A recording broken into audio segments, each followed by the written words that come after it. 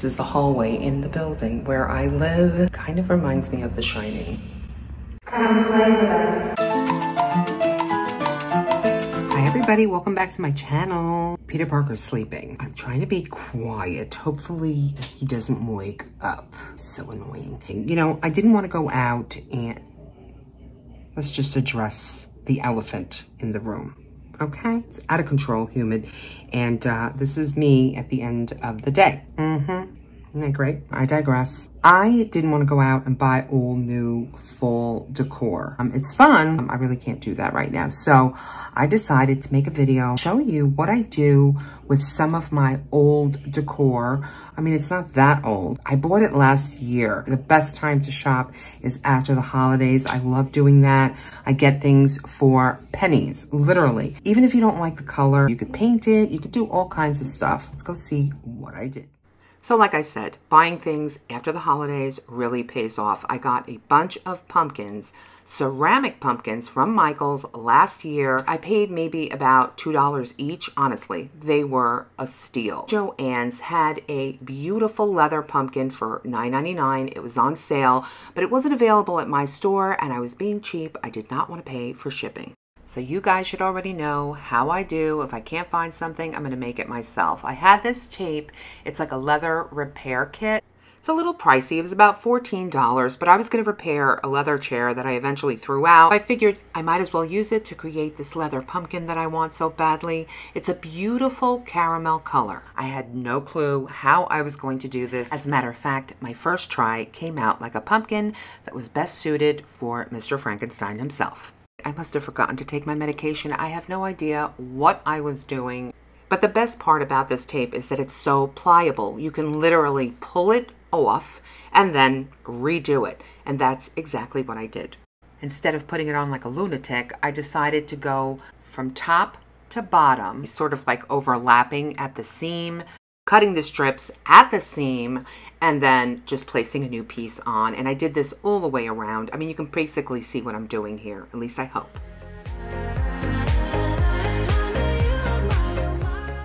Wouldn't be a true Cuban Curlzz video if there wasn't a mishap. I don't know if you noticed, the stem broke while I was doing this. No problems, I just glued it right back on with some E6000 and then I took some leather cord and wrapped it around the bottom of the stem just to hide all the ugly. And believe me, there was a lot of ugly. It didn't come out exactly the way I imagined it would. It's not perfect, but it's a leather pumpkin and I love it. Now these pumpkin revivals that I have coming up are really easy. I had some green pumpkins. This one's actually blue-green, but I'm going to give them two coats of chalk paint. I got this at Home Depot, and the color is primitive. It's a really nice grayish color. I'm so tired of painting everything white, even though, you know, I love white. But this is actually also a nice neutral. Now what inspired this makeover were these German glass glitter pumpkins that Pottery Barn was selling, $33.50, and that was on sale. So when I saw them on the computer, it didn't really look like glitter. It looked more like stone, and that is what inspired my project.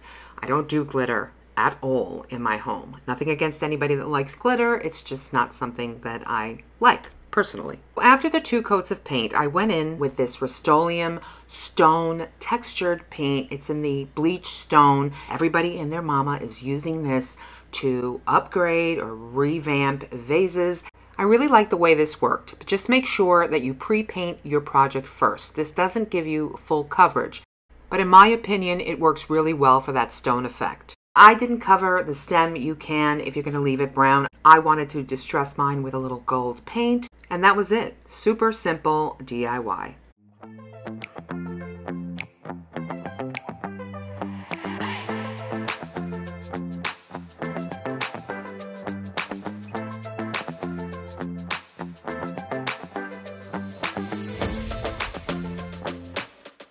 I am really loving the way that these pumpkins came out. They really fit my style so much better. You know, green is really not my color unless, you know, it's greenery or something. But this was really simple to do, and it really does look like they are stone. I don't think the camera does this any justice. It really looks beautiful in person.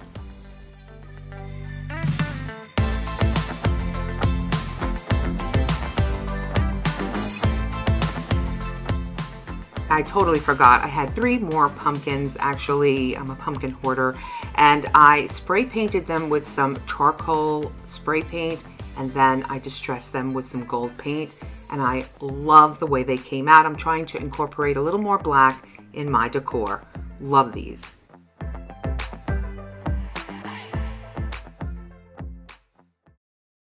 For my next makeover, I'm going to be using this tabletop Hello Fall pumpkin. I picked this up at Michael's. It was originally $10.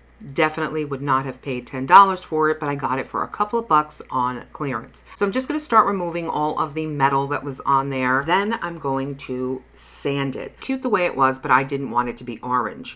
Now I'm going to take a piece of this old pleather belt that does not fit around my waist anymore. Then again, what does fit around my waist anymore? I'm going to take a piece of that belt and I'm going to cut it to size. I printed off the word thankful from my computer, something I found online, and I just printed it out. And I wanted the piece of the belt to actually fit the word right in the middle.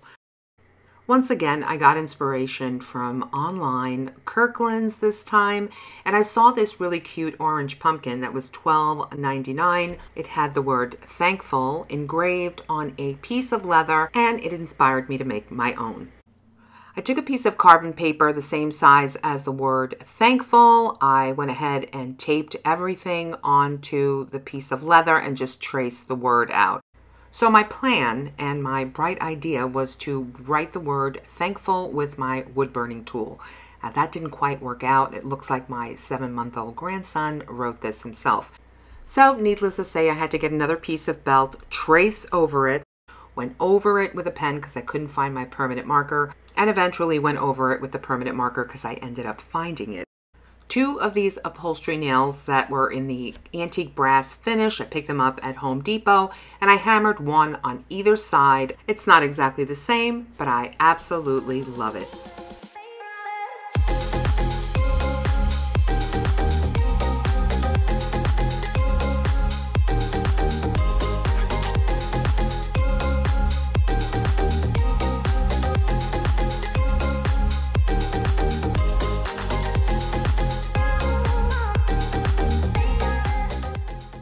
For my final makeover, I'm to take this twig wreath that I picked up at Joann's last year. I think it was like $10 on clearance.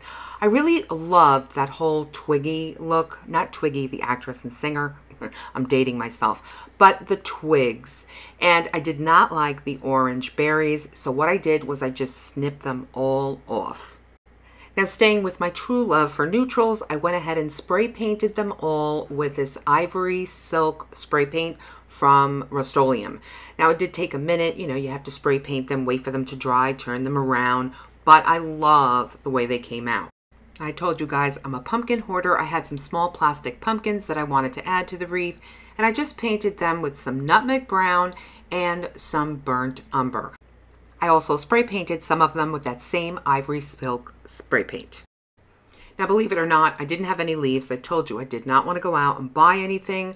So I took this metal leaf from one of the other pumpkins that I painted, used it as a template to make leaves out of canvas material that I had laying around, traced it, cut it, and boom, I had a leaf. Now, I didn't want to glue the leaves straight onto the wreath because I'm fickle. Next year, it may be orange that I like, in fact.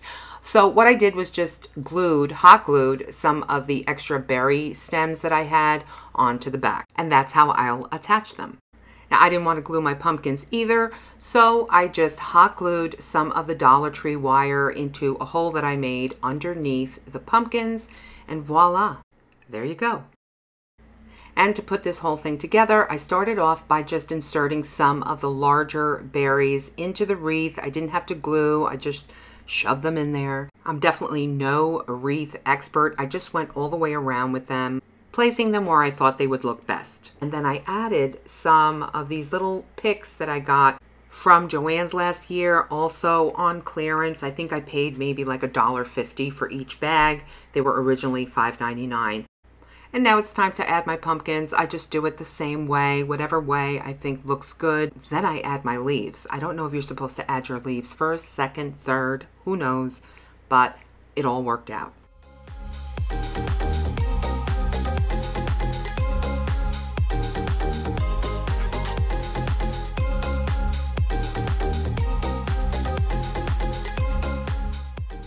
It's so crazy. I was going to give this wreath away this was definitely a labor of love for me. I don't make wreaths on my channel because I really don't know how to make them. I don't have an eye for them. If you want to see a good wreath, you go over to Megan from Glue Guns and Roses. She is the queen of wreaths in my book. But I really do love the way this wreath came out. All still very neutral hues, the browns and the ivory very, very nice for fall if you have a neutral palette like I do. So there you have it, my friends, all of my updated decor. I'm really not decorating a whole lot this year, but I'm really happy that I didn't go out and fall into that trap that I do every year and buy tons of stuff. With a little bit of paint and some love, you can upgrade what you already have and save some money. Don't forget to like this video if you liked it. Do all of the things. Hit that notification bell so you know when I upload. I have some exciting stuff coming up. And subscribe if you're new. And you like what you saw, of course. I love you. Thank you so much for watching, and I will see you in my next one.